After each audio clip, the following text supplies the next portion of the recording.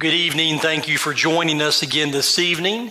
And I trust you've uh, got your Bibles ready, looking forward to a time of worship. Appreciate that so much. And here at Ripley Tabernacle Baptist Church, we're thrilled that you've been able to tune in or be with us for this time. I would like to open our service in a word of prayer. And um, in thinking about that, I'm thinking about um, our nation and all that we're going through. And I just, my heart just goes out to those families that are really struggling. Uh, whether they have had a loss of a loved one, maybe a loss of a job, going through difficult times. And then I think about those that are working hard. Um, many right now have had some time off and our schedules have changed and maybe we're getting some tasks done. You know, things are different definitely in our life, but there are some that have not stopped. Matter of fact, that's been probably ramped up. They've worked longer hours. They put themselves even at risk. And I really, I really appreciate that. And I want to make sure that we uphold them in prayer and on a regular daily basis and God to give them strength and, and help them during this time. But let's go to prayer right now for that and that the Lord would uh, bless this service. Heavenly Father, we love you. Thank you that we can once again meet again, meet and be in this place. And uh, Lord, I pray you'd bless the special music. Lord, as we have offering, as we preach your word, may you be pleased with that. Thank you for those that are out uh, helping us right now, fighting off this pandemic we're in and this, this virus. I pray you'd give them strength. And I think about even those that are in the service industry helping and waiting on people and making sure we have the things we need. May you help them in a special way. Bless your word tonight as we get into that. I pray you'd get the honor and the glory from it. Well, thank you in Jesus' precious name. Amen. Well, you've joined us and tuned in this evening. Thank you so much. Wednesdays at 7 o'clock. And then following that, we'll have a prayer time. Pastor Mike does that. Then also, the teens, they have something on Thursdays as well as other days. And Pastor Josh doing a great job with that. We appreciate our young people and appreciate Pastor Josh and Miss Emily. Uh, taking care of that. Sunday morning, Sunday school at 9.30 and then uh, morning worship at 10.30, Sunday evenings at 6 o'clock. So tune in whenever you can. I hope and pray that you're setting this uh, time aside with your family or with your Bibles there in your homes and um, just having the time to worship. And I trust that'll be a blessing to you. Right now we have special music and I trust that'll be a blessing.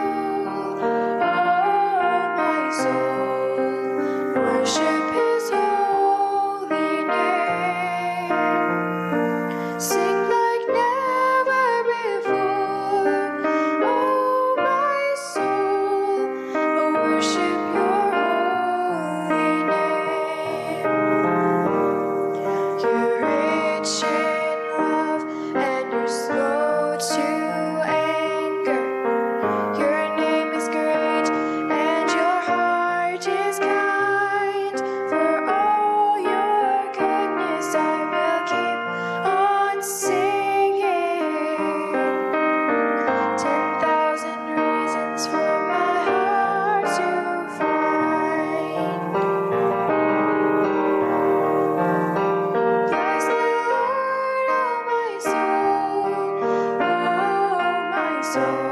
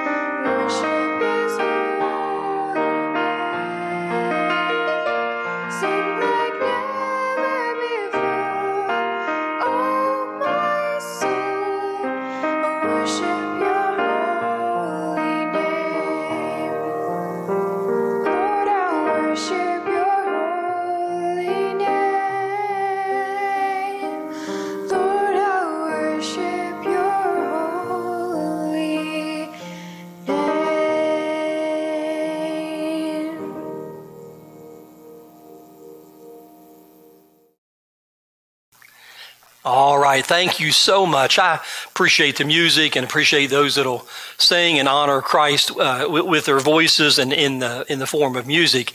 Well, I've asked Brother Clarence. Usually on Wednesday evenings we would have our prayer time, and we're doing that a little different on Wednesdays now. Uh, after the services, we have that Facebook live. Pastor Mike does that. But I've asked Brother Clarence if he would come and just pray for tonight's service. Pray that God would bless. Pray for the message. Pray that. Um, the Lord would uh, help our our nation and heal our land of this uh, this virus, and just have a special word of prayer. So, Brother Clarence, why don't you, if you would, come at this time and just lead us in prayer? God bless you. Well, good evening. Good evening. We are we here at the Ripley Tabernacle Church. We usually have our prayer request and our praise time before our Wednesday night service, but during this time, we have to do things just a little different. But let's not forget that Pastor Mike will be doing prayer requests live tonight after our evening service on, on Facebook. If, if you can uh, tune in right at the end of that service, Pastor Mike will be doing that live, and it's, it's a really good thing. Let's not forget to pray for our country, our country's leaders, especially for our first responders. And really, really, especially for the ones that have, those families that have lost a loved one during this very difficult time. And I know it has to be difficult at this time. Let's not only remember our nation leaders, but our local leaders as well. Let's pray for all the doctors and the nurses working all those extra hours to help those battling this terrible virus. And let's praise God for those that have recovered Precious Heavenly Father, God, we know that you're an all wise and all knowing God. And God, we just want to thank you for our country. We pray for our countries and our country leaders, Lord. And, and God, we just ask that you just pray for our, our, our doctors, our nurses, and our first responders, Lord, that fearlessly work with the, the sick individuals, Lord, who are battling this terrible virus, God. And, and Lord, we just ask, Heavenly Father, Lord, that you would just touch them, keep them safe. And God, we just ask, Lord, that you just uh, be with our church here to, to in, in the future, Lord. Uh, we don't know what the future is, but God, we know that you do. We know that you, you're in charge. We miss church coming to service, Lord, and see the faces of our loved ones here in our church, our Sunday school class. We ask, Lord, that you just protect those in our church, our elderly folks. Dear Heavenly Father, God, just be with those and keep them safe. Keep them in, Lord, as, as much as you can, Lord. And, and uh, God, we just ask, dear and Father, Lord, that, uh, that you just be with the, our, our choir, dear God, that, that, was working so very hard on a, on a cantata.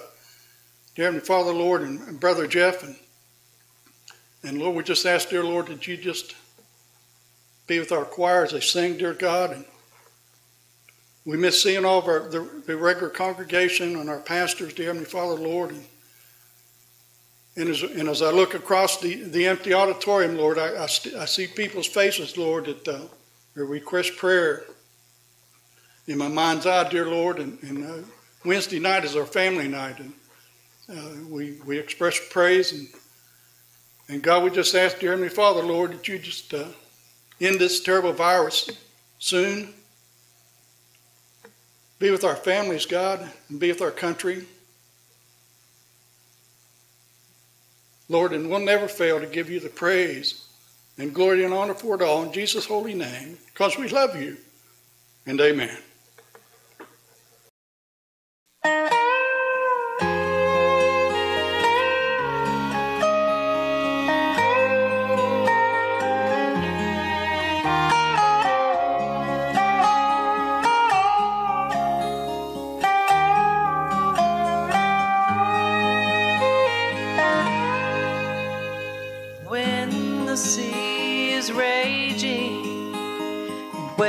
Are crashing round when my heart is heavy and I'm swiftly going down.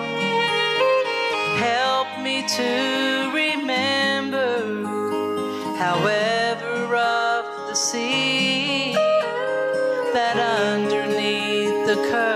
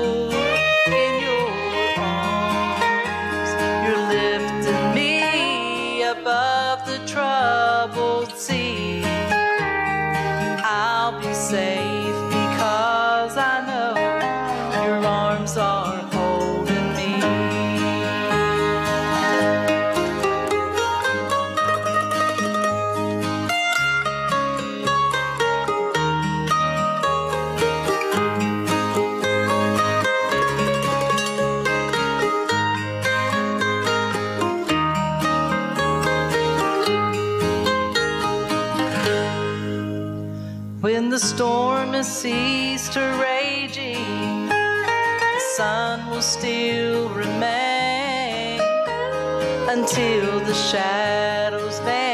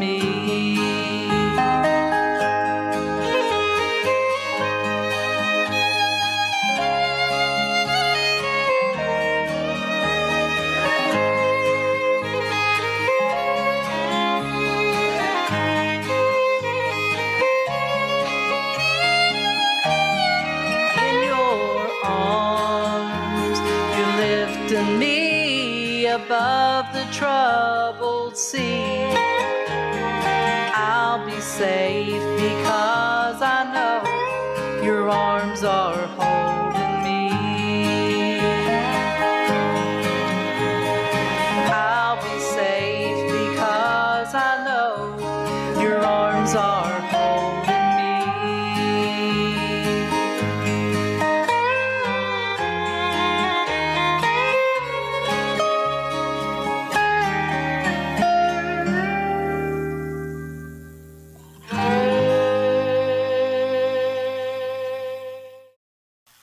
Amen. Thank you, Brother Clarence, and also thank you for the special music. I appreciate that. Get your Bibles, Luke chapter 24. Luke chapter 24. i tell you what's been on my heart this evening is um, we, we speak of Easter and boy, the importance of Easter, Resurrection Sunday for, for a believer, for a child of God. And, and a lot of times, if we're not careful, we'll spend about a week, maybe a Sunday and a Wednesday and a Sunday, and talk about the resurrection and preach about it. And then we pretty much move on. We leave from there and, and go our separate ways and go other places in God's Word, which is good. But I want to tarry a little bit, and we'll look at that, that word here just in a few minutes. It says in, in verse 49 of Luke 24, it talks about tarry until. And I want to look at that thought here just a little bit. Some of the events that took place after the resurrection and um, Boy, before the church was, was established and the Holy Spirit came and,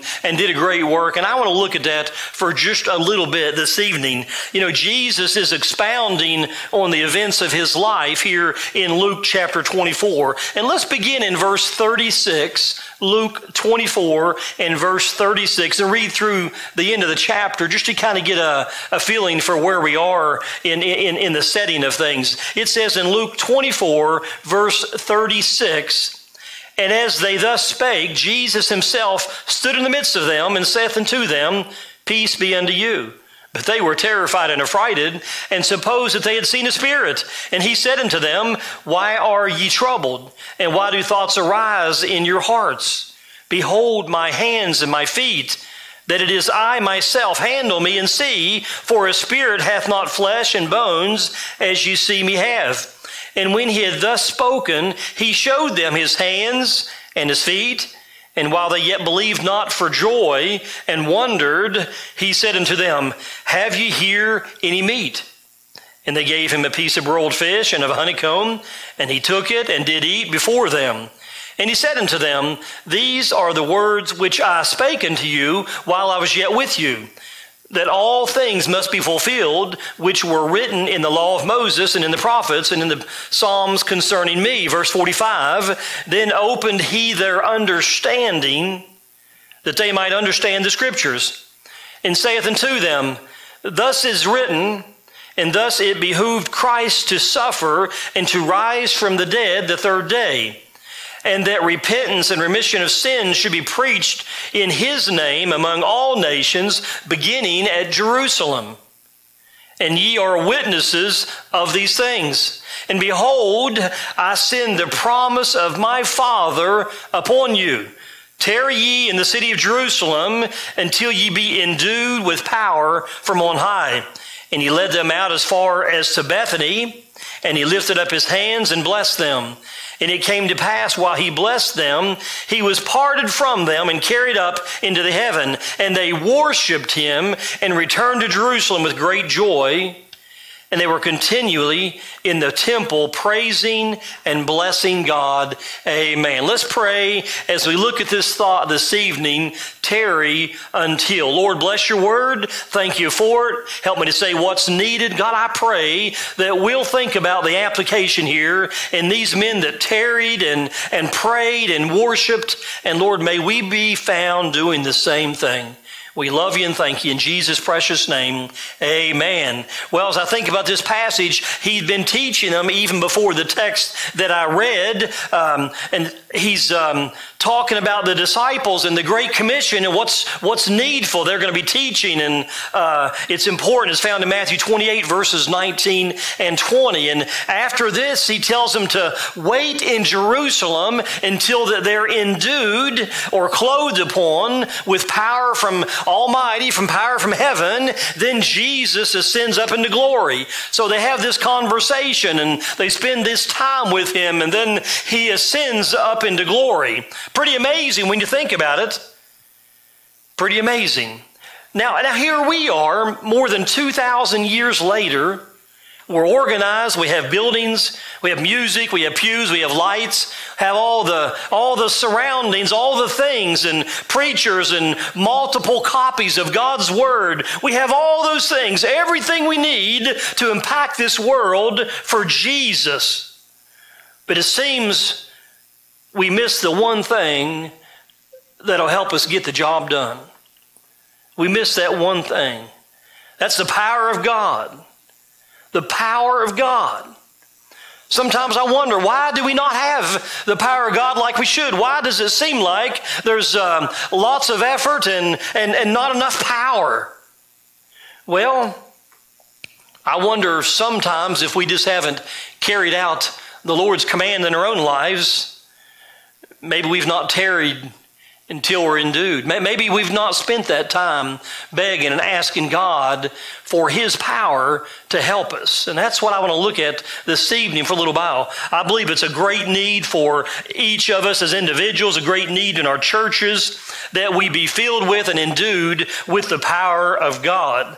So let's focus on it just a little bit. The first thing I want to notice is tarry until God's promise is fulfilled. Now, amid all the news and all the talking, suddenly in verses 36 and 37, Jesus appears in their midst. Now, think about that.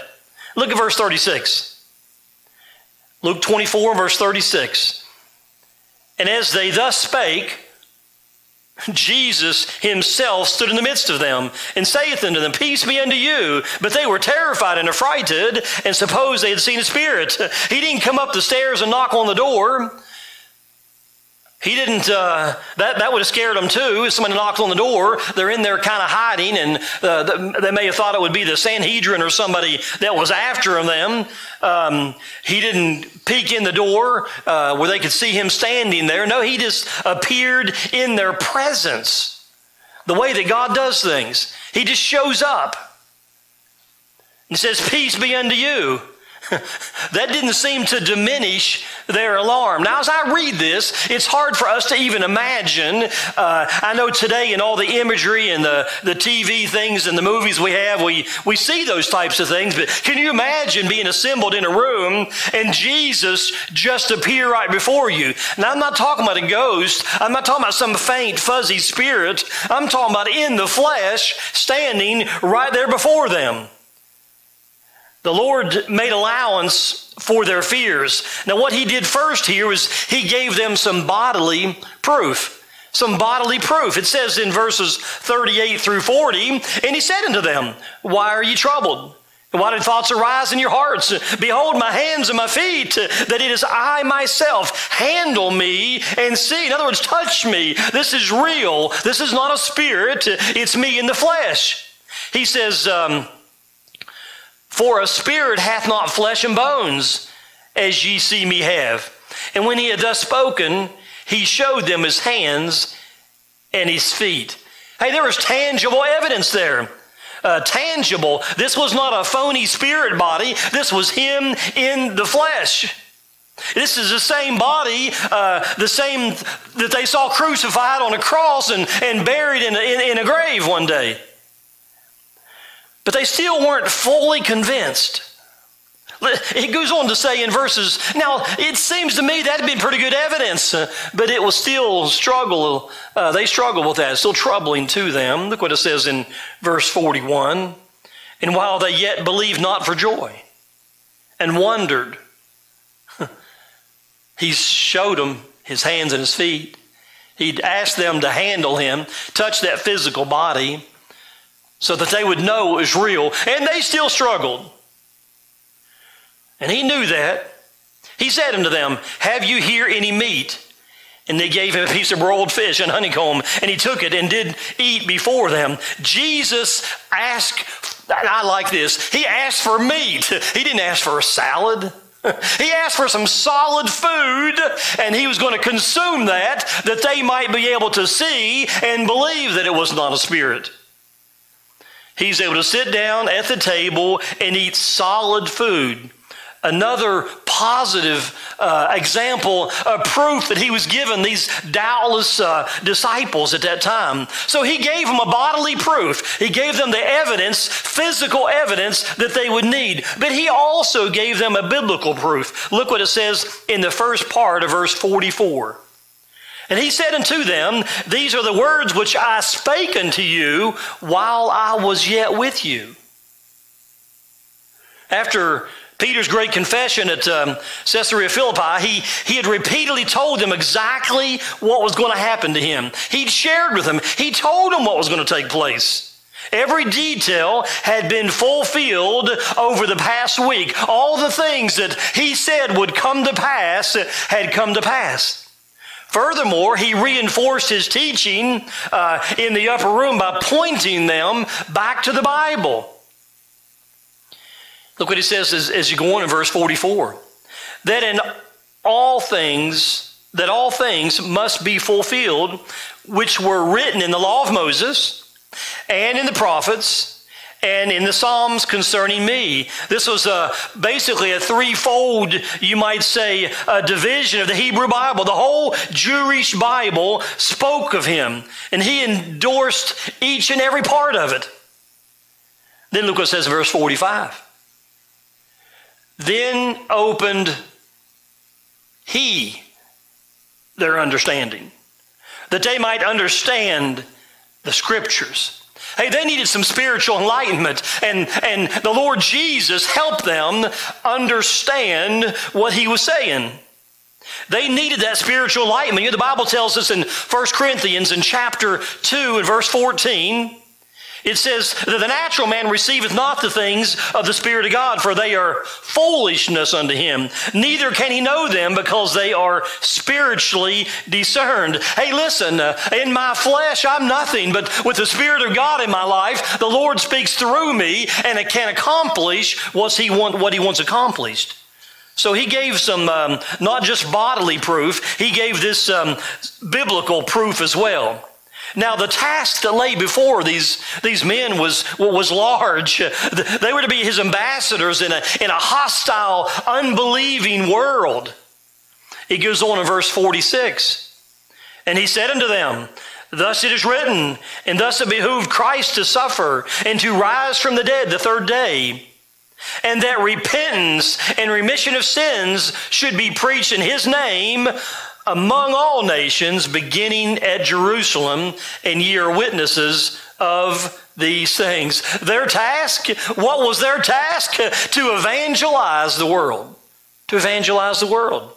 He looked at them. I mean, he looked at this unlikely group of people, you might say. A few fishermen, a former tax collector. I mean, think about the guys that he had gathered together. There was not a scholar among them, not even a trained rabbi, you might say.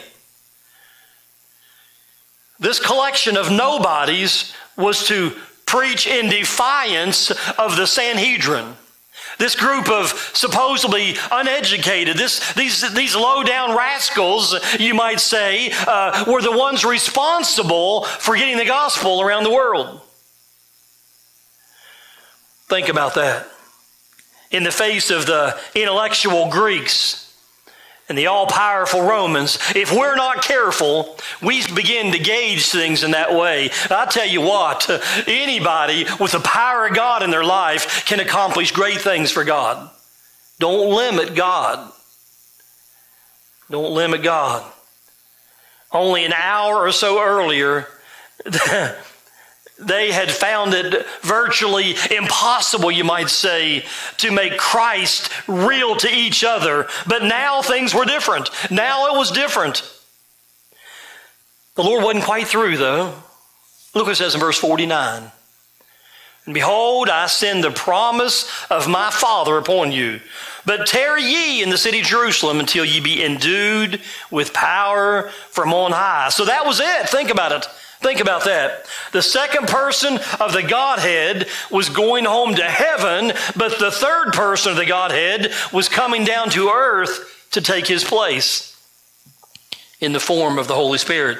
The Lord had no intention of leaving it up to his disciples to formulate the plan and to carry it out on the earth's remotest bounds, you might say. The Holy Spirit would enlighten them and enable them. Thank the Lord. I'm glad when I got saved, the Holy Spirit came to indwell in me. Hey, if there's anything good in me, if there's anything accomplished in this old weak flesh, let me tell you something. It'll be the power of God. It won't be something I've done. And I believe that's what's lacking. I believe we need God's power in our lives. No doubt about it. No doubt about it. He would reveal truth to them. He would superintend the, the writings of the, of the New Testament. He would supernaturally open blind eyes and, and deaf ears and raise from spiritual death people who were held in the bondage of sin. That's exactly what took place. And all they had to do right now was wait. Was wait. I was thinking about this before the service. I was over in my office, and I'm not anything. But I'm studying this, I'm getting ready to preach this, and it just kind of, you know, hit me in the face like sometimes, you know, a deer in the headlights. I'm like, wow, huh? uh, I found myself on my knees praying, asking God to help me. I could come over here in my flesh and talk a little bit, read a passage of Scripture, there'd be nothing to it.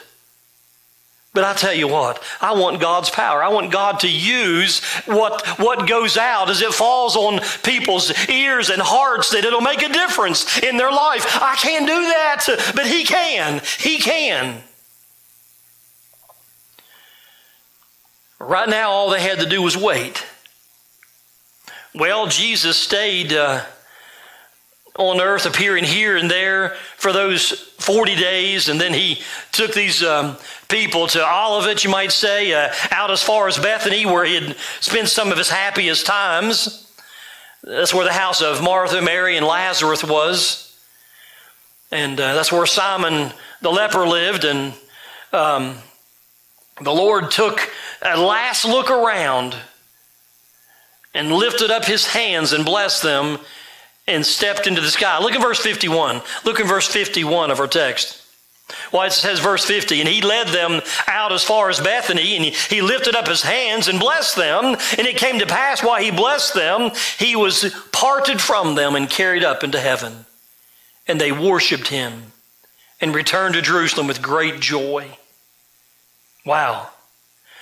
The last they saw of him, he was blessing them. The last they saw of him, he was blessing them. And the last he saw of them, they were worshiping him. Isn't that interesting? He was blessing, and they were worshiping. Let me tell you something. He's still blessing today. We ought to still be worshiping today. He's meeting our needs every day. We ought to be worshiping Him every day. I mean, whatever form of worship it might be, it might be in song, it might be in praise, it might be in witnessing, it might be in giving, whatever the case may be, we ought to be worshiping Him with everything we have. Because let me tell you, He's still blessing. He's still blessing. Thank the Lord. It's been like that ever since. Jesus blesses us and we worship Him.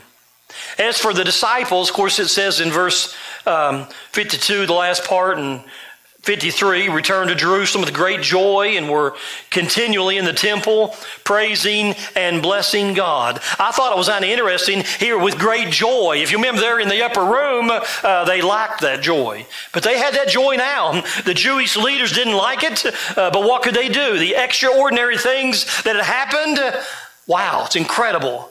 They had to wait and see then this countdown begins. These 10 days, you might say. then, with a mighty rush and a roar, the Bible tells us in Acts chapter 2 in verse 3. You might want to turn there, Acts chapter 2 and verse 3. And, and let's look at this here for just a moment. Acts 2, verse 3 And when the day of Pentecost was fully come, and they were all with one accord in one place, and suddenly there came a sound from heaven as a rushing mighty wind, and it filled all the house where they were sitting. And there appeared to them cloven tongues like as of fire, and it set upon each one of them, each of them, and they were all filled with the Holy Ghost. They were all filled with the Holy Ghost and began to speak with other tongues as the Spirit gave them utterance. Wow, isn't that incredible? I think about the entrance of the Comforter. The Comforter has come. John 14, 26 says, but the Comforter, which is the Holy Ghost, whom the Father will send in my name, he shall teach you all things and bring all things to your remembrance whatsoever I have said unto you. Jesus promised his disciples only days before that God would send his Spirit, the Comforter, unto them, unto the world. This was simply a restatement of promises that were delivered hundreds of years before that. The Bible tells us in Isaiah chapter 44 and verses 2 and 3, it says, Thus saith the Lord that made thee and formed thee from the womb, which will I help thee. Fear not, O Jacob, my servants, and thou Jezreel, whom I have chosen, for I will pour water upon him that is thirsty, and floods as floods upon the dry ground. I will pour my spirit upon thy seed, and my blessings upon thine offspring. Joel 2 28 and 29 also makes reference to it. And it shall come to pass afterward that I will pour out my spirit upon all flesh. And your sons and your daughters shall prophesy. Your old men shall dream dreams. Your young men shall see visions. And also upon the servants and upon the handmaids in those days will I pour out my spirit. Wow, that was literally took place, literally happened there on the day of Pentecost when the disciples were filled with the Holy Spirit of God. It says in Acts chapter 1, Acts chapter 1 and verse 8. We talk about the Great Commission. But ye shall receive power. When do you receive power? After the Holy Ghost is come upon you, and ye shall be witnesses unto me, both in Jerusalem and Judea and Samaria and unto the uttermost parts of the earth. Wow, that's the entrance. We see the entrance of the, the comfort. And now look at the extent of his ministry. I think about the Holy Spirit. Is the Holy Spirit just for a select few people? Just for a few of those in the church? No. The Bible tells us in Romans chapter 8, verses 9 through 11, it says, But ye are not in the flesh, but in the Spirit. If so be that the Spirit of God dwell in you, now, if any man have not the Spirit of Christ, he is none of his. And if Christ be in you, the body is dead because of sin, but the Spirit is life because of righteousness. But if the spirit of him that raised up Jesus from the dead dwell in you, he that raised up Christ from the dead shall also quicken your mortal bodies by his spirit that dwelleth in you. Hallelujah. You trusted Christ as your Savior, the Holy Spirit came and indwelt you at that time. Now, notice here the ex- exhortation to Christians. If we're to experience, I believe, God's presence and God's power in our worship, in whether it's public or private, uh, we have got to have God's provision along the way. We've got to allow God to do all that He wants to do in our lives. God wants us, God, God wants to fill us with His Spirit. God's promise is fulfilled here when, when he says that. When he told them, when he left and said to, to go and to tarry until, then that took place. Now, now look at the source here. Look, look at God's power. We see God's promise and look at God's power and how it's revealed. You know, in ourselves, we're weak and can do nothing. Romans 7 18. For I know that in me, that is in my flesh dwelleth no good thing. Now, I'll think about that thought a minute. In my flesh dwelleth no good thing. I kid people a, lot of times. It's just kind of a joke, but someone, you say, how you doing? They say, I'm doing good. Well, the Bible says not. says there's no good thing. I don't say that to be critical, just a little cliche, you might say, but for I know that in me, that is in my flesh, dwelleth no good thing. We realize that. Then it goes on to say, For to will is present with me, but how to perform that which is good, I find not. If there's any power in any person this evening, it's a direct result of, of, of the Holy Spirit's filling and indwelling in our lives. I know what the Bible says. Philippians 4:13. I can do all things. Amen. But it goes on to say through Christ Jesus. Through Christ Jesus. You know Ephesians 3:20 says this here. Now unto him that is able to do exceeding abundantly above all that we ask or think according to the power that worketh in us. What is that power? That's the power of the Holy Spirit. Well, we need to get a hold of that. We need to pray and beg God. We need to spend time with Him and, and be filled with the Holy Spirit of God that we can accomplish what He wants us to do. You know, I was reading about Jonathan Edwards, that great sermon entitled Sinners in the Hands of an Angry God. that sermon, that one sermon had a tremendous impact in the 1700s in, in New England. And um, there's still rippling effects today because of that one sermon. Many know about it. Many know about the 500 souls that were saved in that service and the manifest power of God, you might say. But not as many are quite as understanding as to why the success of that sermon. It seemed like a few people there in the same village were concerned about a move of God in another village nearby. They were hearing of the wonderful things God was doing over there uh, in, in that little town, and they were afraid that their little humble town would be passed by in revival. Now, just that thought, that thought itself encourages me. Here's a group of people didn't want to miss out on revival. They didn't want to miss out on God doing a mighty work in their lives. So what they do? They spend the entire night before this great sermon was preached on their knees in prayer that God would manifest His power in their community. God answered. Now, in spite of Jonathan Edwards' style, I mean, we, we, were, we live in a day and age of entertainment. We want to be entertained. Uh, Jonathan Edwards, he spoke in a high, squeaky voice. It said uh, he held his notes so closely to his face uh, where his eyes could see them that you couldn't see his face. Yet God took that, not charismatic person, not well dressed person. God took that person that had the power of God on his life and did a wonderful, wonderful work. Look at the scope of his power no limit to the power of Almighty God. The ability to do whatever He wants to do. Matthew 28 and verse 18.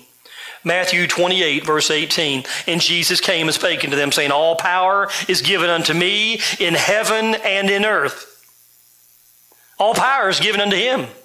Then he says, Go ye therefore and teach all nations, baptizing them in the name of the Father and of the Son and of the Holy Ghost, teaching them to observe all things whatsoever I have commanded you. And lo, I am with you always, even unto the end of the world. Amen. God's power can soften the hardest heart. I tell you what, he can, God's power can move the, the, the, largest, biggest mountains that might be for you. That's what the power of God can do. Oh, we limit him. We limit him so much. You know, I don't know about you. I, I love to hear about the past and I, I love the testimonies of old, but I appreciate what Pastor Swore said. And, and I've shared this in our church uh, from time to time. Um, it's, it's wonderful to hear about what God did, but I want God to do. I want to experience God doing great and mighty things right now. I'm glad that 50 years ago or 200 years ago, this and such happened. That's wonderful. But I want the power of God in my life, uh, in this church, uh, that'll do something great for God right now. And that'll happen when we get endued with His power. Oh my goodness. I want to experience those things in the day we're living. God's power. Look at God's plan really quick here. God's plan. God's plan right now for them involved tarrying. The word tarry simply means to sit down.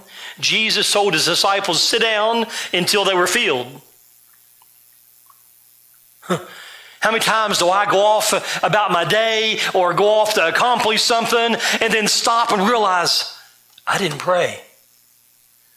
I, I, I didn't spend time or very much time with the Lord.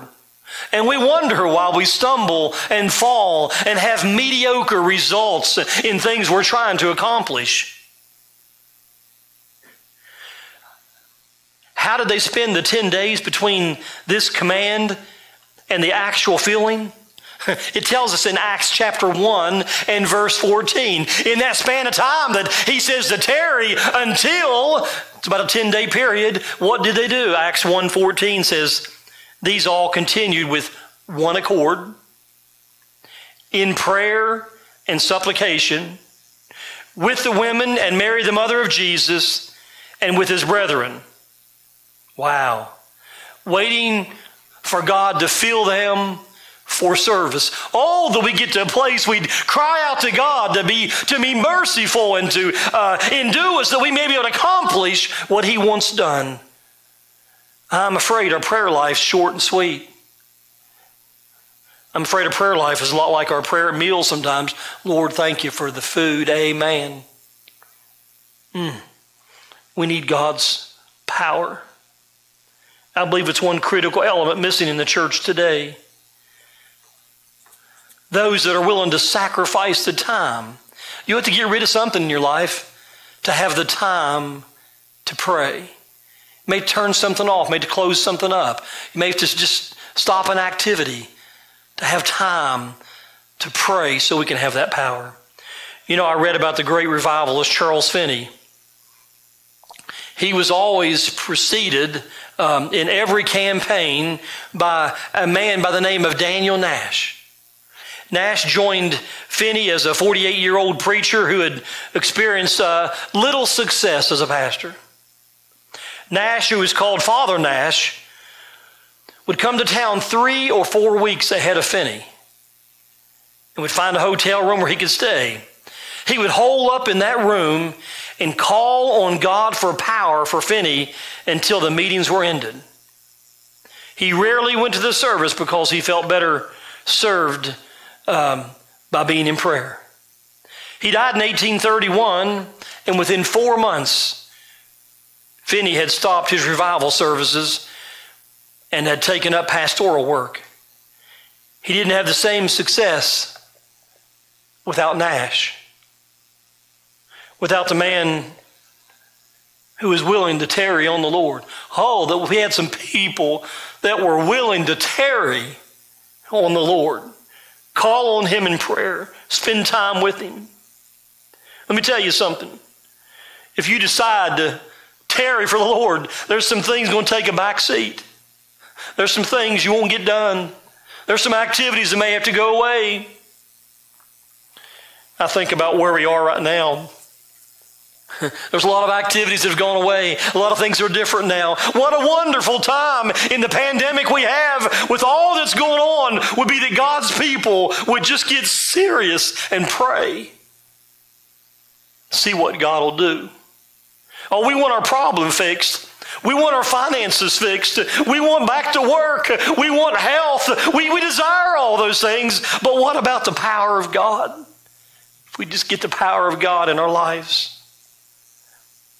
the cost of God's plan, the consequences. The disciples were willing to tarry before the Lord, so they were endued with his power. they literally changed the world through the power in their lives. Um, don't you want to see that? Don't you want to be endued with that power? See sinners saved, homes salvaged, lives reclaimed. We see God do that. Don't you want to see more? Don't you want to call on Him and get His help, get His strength, get His power? Have you ever tarried before the face of God until He filled you with His power? Have you ever have you ever knelt down to pray and got up and started to walk away and think, I don't have it? And just go right back and kneel down and say, God, I need you. We want to get up in our own power. We want to say our own little prayer and get up and go, and you get back on your knees, and then it just gets real sweet then. You get the play out of the way. And now we're getting real with God. God, I need you. Lord, do a work. Lord, you're amazing. You're wonderful. You deserve all praise. And I mean, just get serious with God and let Him fill you with His power. You know, uh, I, I want you. I want you this evening. It might be unusual there in your home. You may be there by yourself, maybe a couple, maybe children, I don't know. But it'd be good Pastor Mike's going to have prayer time too, just a little bit. It'd be good if, as a family, you'd pray that God would work in your family. It'd be good that you'd pray for America and its sin sick condition. It'd be good if you'd pray concerning this pandemic and this virus. I mean, spend some time and ask God to give you His power and work through your life.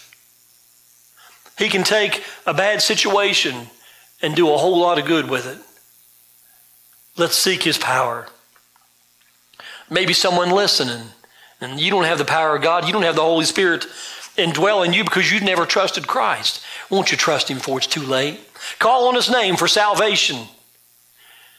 He has all power. He can help you through your situation. Now, don't trust Him to, to, to, get, to get your fix. Don't trust Him to try to clean up your act. No, no, no, no. Trust Him because you realize without him, you're going to spend eternity in a place called hell. Trust him because he's the only one that can get you to heaven. Trust that he's the only one that can forgive you of your sins. The Bible says, For all have sinned and come short of the glory of God. The Bible says, For the wages of sin is death, but the gift of God is eternal life through Jesus Christ our Lord. Oh, won't you call on him? Jesus loves you. For God so loved the world that he gave his only begotten Son, that whosoever, that could be you, whosoever believeth on him should not perish but have everlasting life. I want to encourage you, call on Jesus as your Savior if you've not done that. Christian, let's get endued with power. Let's spend some time at the throne begging God to meet our needs and to help us. Let's pray. Heavenly Father, we love you. Thank you for your word in Luke chapter 24. God, I pray you'd bless it. I pray, Lord, we'd be all you want us to be. Lord, pour your power out amongst your people. Lord, I pray we'd have the strength to accomplish what you want done in our lives. Bless this little church, God. Meet every need. Just do abundantly above what we could ask or think. I know you're able to. We love you. If someone's lost, I pray they call on you before it's eternally too late. Thank you in Jesus' name. Amen. Thank you so much for, for worshiping and with us tonight. I, I trust that was a blessing and uh, make sure you enjoy your prayer time that'll follow and also in our other services as they come up. And be praying for America and praying for those that are on the front line, those that are in the essential parts of business right now and uh, they need your help. Let's pray that God will help them. God bless you, and we'll see you the next time.